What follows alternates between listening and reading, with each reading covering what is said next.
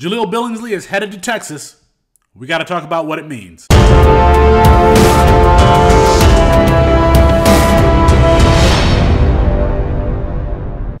It's Felix Sharpe for CampusToCanton.com. You can find me on Twitter at Sharpe Review. Billingsley, the Alabama tight end, is headed to Texas. Texas is absolutely loading up. You think about what they added in Quinn Ewers. They got Maalik Murphy coming in. Don't sleep on Maalik Murphy, Hudson Card is still there after Casey Thompson is transferred. And then you let's look at the skill position, the other skill position players. Xavier Worthy, Troy Omeire, one of my favorites. Ja'Tavion Sanders, a five-star athlete who is playing tight end at Texas. Add that to Jahleel Billingsley, uh, Bijan Robinson, and of course, Jaydon Blue, the freshman who is coming in there at Texas. You look at what Texas did last year uh, with Steve Sarkisian at the helm. Cade Brewer was the leading receiver amongst tight ends, uh, 22 catches for 184 yards.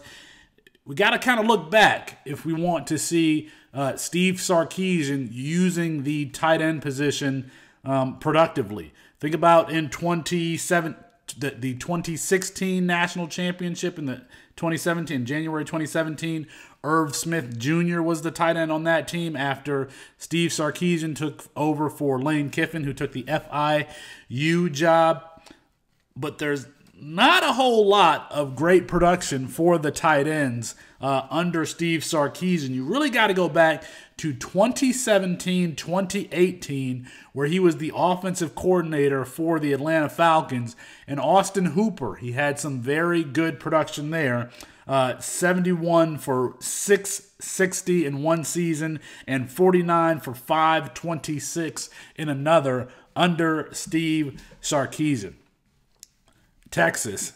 I don't think that offense was the problem for them. The problem for Texas was the offensive line. You're talking about the 73rd ranked uh, pass blocking offensive line according to PFF. That's just below Duke and ahead of uh, Arkansas State.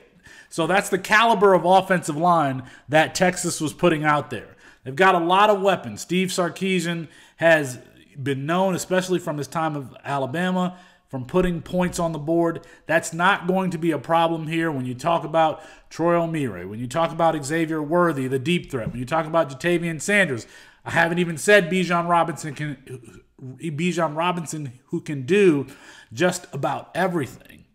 The issue with Steve Sarkisian is going to be, and the Texas Longhorns is going to be, whether they can protect Quinn Ewers or whomever is going to be the starting quarterback for Texas. That's another conversation. I know a lot of people have Quinn Ewers that uh, they think that he's going to be the starter, but he hasn't played football since 2020, uh, his junior season, which was injury shortened. So we're going to see there. Let me know in the comments what do you think Texas's outlook is going to be for the season? You can find me at Sharpe Review on Twitter.